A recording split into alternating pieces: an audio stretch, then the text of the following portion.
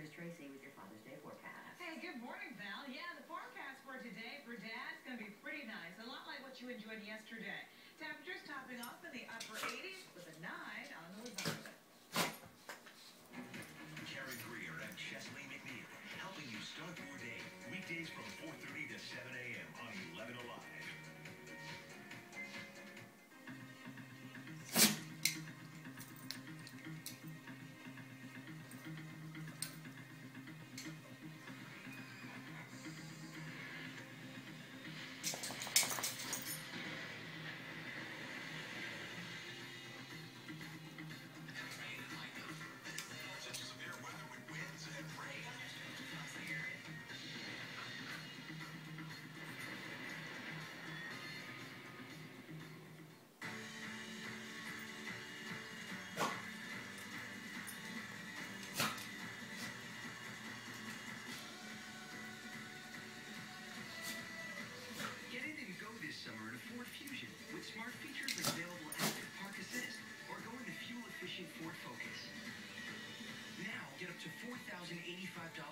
savings on Focus